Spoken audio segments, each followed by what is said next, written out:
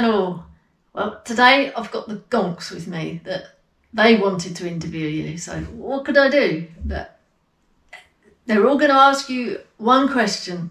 So I hope you're up for this, Pixie. Thanks, Jackie. I'm looking forward to this later, me gonks. Come on, what you got?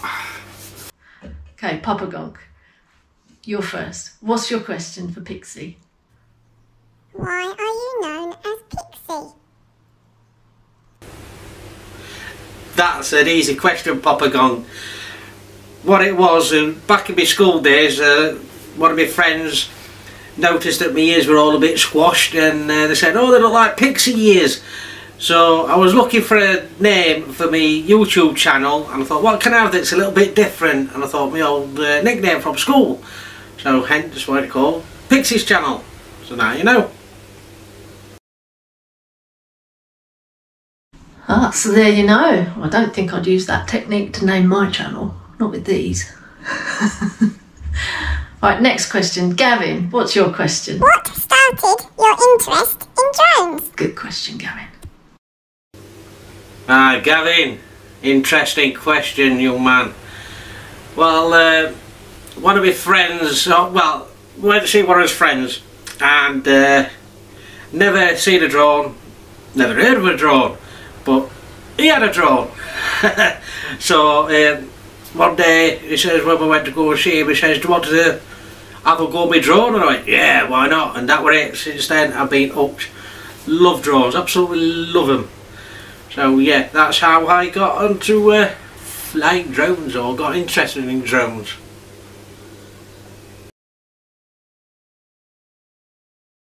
The next question is from Kevin. What do you want to know, Kevin? How often do you go out with the Yorkshire Drone Seekers? Very good question that Kevin. Well what it was, um, we used to go out every Sunday, uh, Sunday morning, early doors for the sunrise. Um, yeah, once basically once a week because the other two guys uh, the, who was part of the Yorkshire Drone Seekers well they were um, working during the week. Well I was working at the time as well. So we were all working during the week and that was the only day we could get because I like to watch football on a Saturday when the football was happening. So basically yeah early doors for the sunrise on a Sunday morning that's when we went out. But uh, nowadays it's just we can't because of the lockdown so we're stuck indoors. And before the lockdown started I used to start going out during the week because I left my job to look after Mrs Pixie so yeah I, I was going out during the week on my own and then meeting up with the Yorkshire Drone Seekers on a Sunday morning Reckon he should go out more with them, Kevin. Right, next question from Gordon. What's your question, Gordon?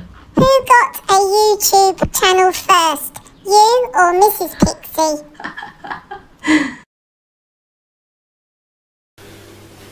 Well, Gordon, that is an easy answer to that one. I had the channel first, little old me.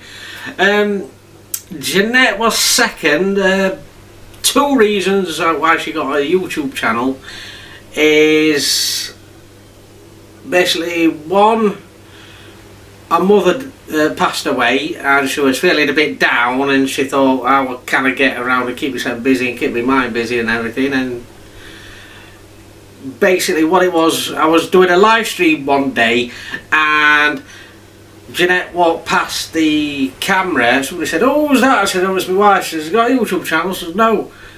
Oh she better go and get one so basically that's what she did.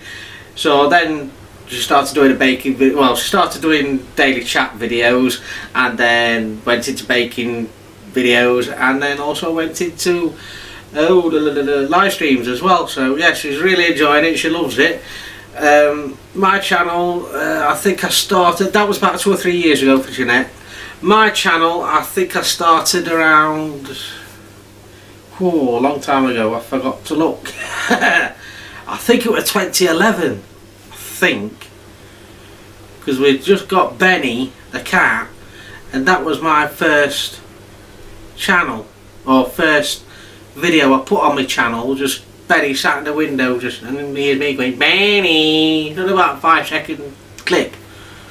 So yeah, I think that's how I got started on YouTube. Good question. Okay, Grandpa's question now. What movie are you most proud of producing? Well then, Grandpa, that's a good question as well. What are my favourite videos that I have produced? I've got two, and they're both drone videos.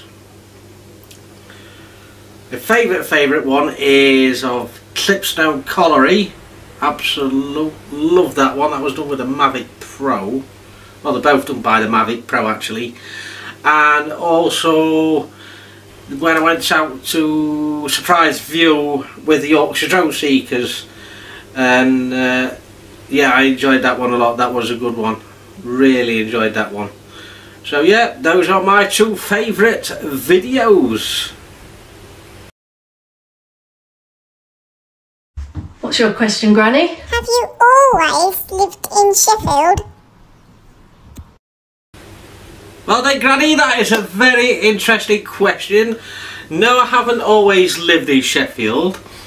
Uh, when I met Jeanette, um, after a very short space of time, uh, we or I moved into Jeanette's and we were living in a little place called Sutton in Ashfield which is a little village outside uh, Mansfield. And then we moved to where is it? Great Yarmouth if I can remember.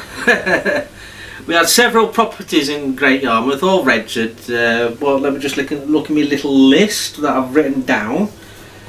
First place we moved to was Martham.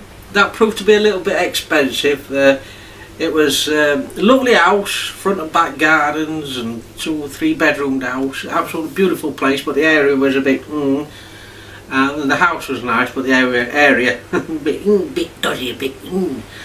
So then we moved to Belton. So I'm looking down a piece of paper. then we moved to a house called uh, uh, uh, to a place called Belton. That was nice-ish area, but the people were a bit. So. Um, oh I've missed out Burgh Castle before that. We went in a one uh, three bedroom flat in Burgh Castle in Great Yarmouth. But you had to get up some stairs to the flat and that was no good. Then we moved to Belton. Uh, like I said the area was alright but the beach a little bit rough. So we moved out of there and we moved into Caister.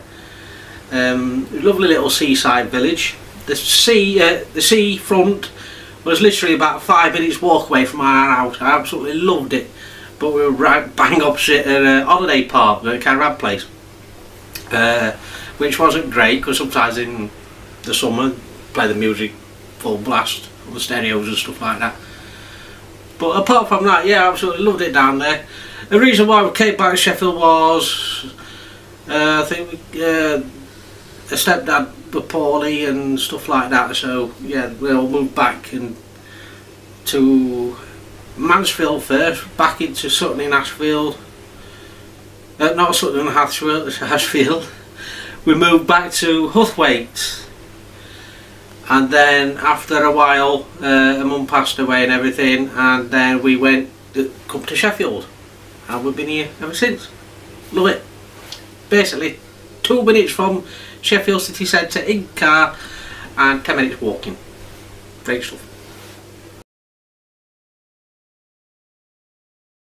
I bet we know what team he supports then. Right, what's your question, Mama? How are the three pixies coping with lockdown? Uh, Mama, that's a very, very good question. Yes, the lockdown, how we're coping. Oh, we're alright for the first week or two. Now it's just boring, you can't get out, or I can't get out anyway. Callum can't go to college, so unfortunately Mrs P is stuck with both of us until we go on his daily walk, which is not good, which is either around the estate or up the park. It's not good at all, so yeah, she's getting a bit fed up with us at the moment. so until this lockdown's uh, in place. I'm afraid she's stuck with us. So what can you do?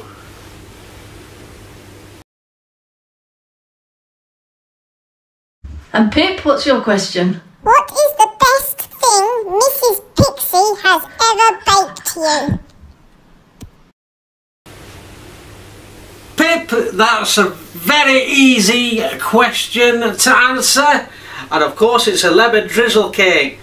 But we've got the white chocolate cookies that's coming a very, very, very close second. So yes, lemon drizzle cake.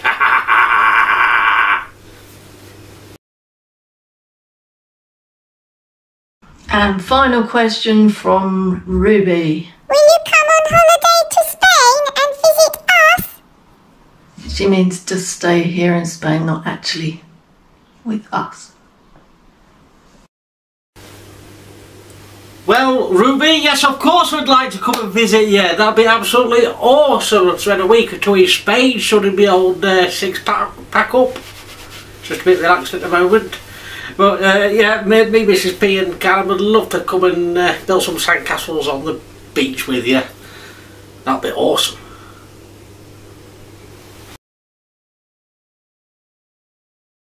Well, thanks for answering those. I hope you survived being grilled by the gonks. Right, thank you very much, Jackie and the Gonks as well. That was that was uh, very very tense and some very hard questions, but we got there in the end. Thank you very much, guys, and I really enjoyed myself. And I shall see you in the next one. Bye. See you next time. Bye.